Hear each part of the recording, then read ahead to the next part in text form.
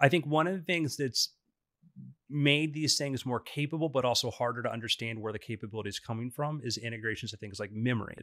Memory is probably my favorite recent ChatGPT feature. Mm-hmm. Um, you know, the first time we could talk to a computer, like GPT-3 or whatever, uh, that felt like a really big deal. And now that the computer kind of like knows a lot of context on me, and if I ask it a question with only a small number of words, it knows enough about the rest of my life to be pretty confident in what I want it to do.